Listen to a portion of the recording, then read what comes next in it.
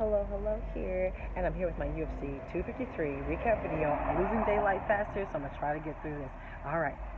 Uh, UFC 253 happened last night. I hope you saw it. It was um, an, an amazing event. Actually, lived up to all the hype. How we hype. Trying to go so fast, I can't even talk as normal. Uh, lived up to all of the hype. He had two title fights on the line. Again, let's go ahead and get into it. I made five picks. I got three out of five. So whew, I'll take that right above 500 and getting into it. First up, I got this pick. I chose Hakeem Dawodu to get the victory over Zabaira uh, and he did. He won a split decision victory, and I completely agree. It was basically 1 1 going into the third round, and it was Hakeem who got his third win. He got a takedown. Also, he landed the more devastating shots. There was a near finish there. He uh, was initiating the exchanges. He was the one holding the center of the octagon. He was the one pushing the pace more. He clearly won that third round. I think that's what won him the fight, honestly, this was a very back and forth fight. Very good fight. Way to open up a good card. But I totally agree. So who would you like to see Hakeem Dawodu fight next? Next up, uh, I got this pick. I chose Ketlen Vieira to beat Sijara Eubanks, and she did. I think this was a unanimous decision, though. Correct me if I'm wrong. Pretty sure it was a unanimous decision. She did not finish her. However, she did win. The first round there, actually, the first round was super, super close. They were both the sharing the uh, center of the octagon, both landing hard shots. Neither one really trying to uh, even go for any grappling or any takedowns until the very end of that first round, in which Ketlen got a takedown. I think that sealed her the round. And as the fight went on, she got stronger. She started to land more often. She actually landed more takedowns, was able to hold her down, ground and pound. Great win and great back in the win column for Ketlen Vieira, who's always kind of been one to watch. She had a little slip up before this fight, but now she's back on track. Who would you like to see?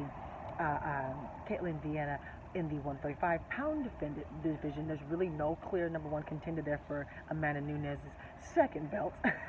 so, who would you like to see her fight next? Next, lots of great fights in that division. Now, next, next up, I'm getting lipstick all over the place. I'm just moving way too fast. But next up, I did not get this pick. I chose Kai Kara France to beat Brandon uh, Royval.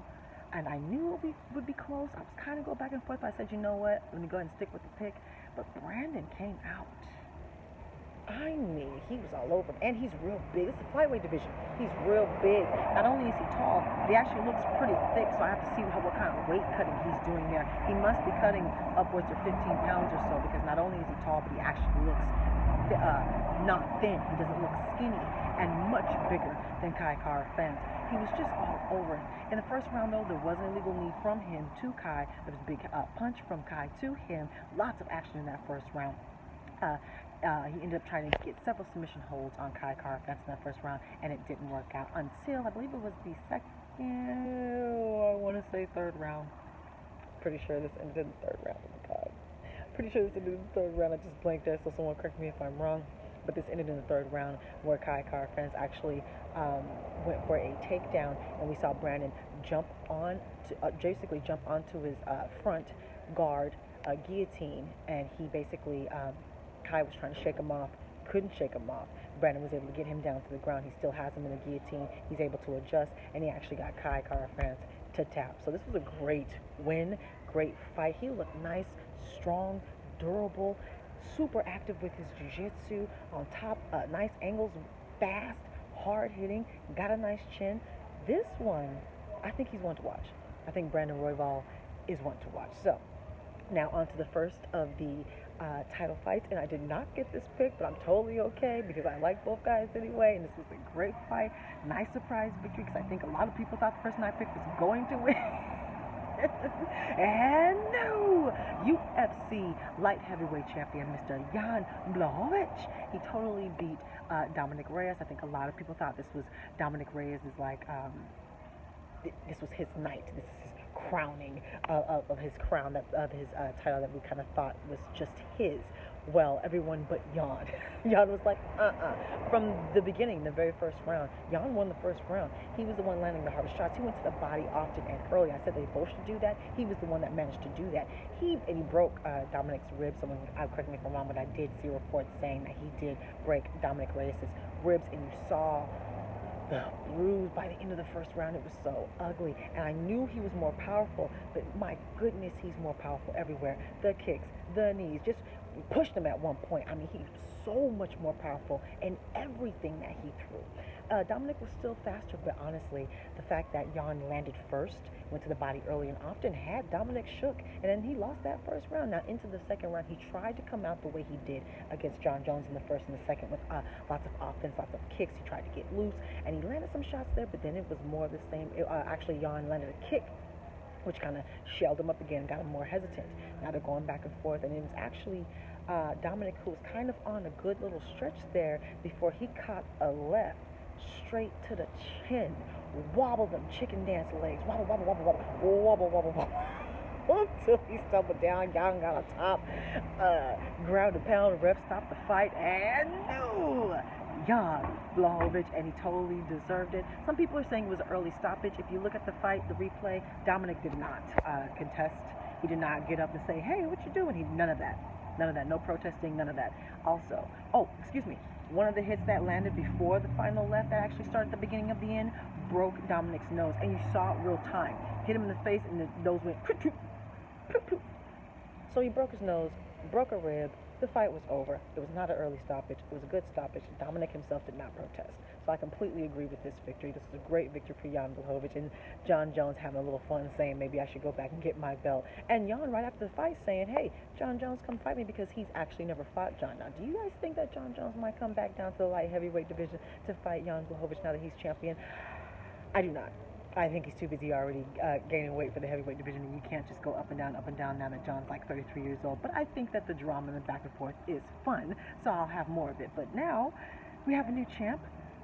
Uh, lightweight, light heavyweight division's back on track. Who do you think should be next? We have a lot of important fights actually coming up, so there's probably some fights that need to happen. So you guys give me your ideas of what should happen, where we should go from here. Now, main event, and I got this pick. I chose. Oh, excuse me. And middleweight champion, Mr. Israel the Last Stylebender Adesanya. I took my time to say his first name right. Hope you got that. He successfully defeated or defended his belt against Paulo Costa, and I think he did it easier than any of us thought. Me, myself, Dana White, everyone. I think we all thought this would be a bit more difficult, probably last a little bit longer. But this ended in the second round. Let's go ahead and get into it. And it was fairly easy. Uh, Paulo Costa, you know, we knew he would be, well, we thought he would get in his face early and often, try to go to the body, try to go to his legs, take away that power, maybe even go to the ground, use that black belt Brazilian Jiu-Jitsu. But he didn't really do I don't know if he was he was trying to be measured. I know he didn't want to uh, blow his gas tank because you have five rounds here, so I get that being measured. But he just he let Israel get comfortable.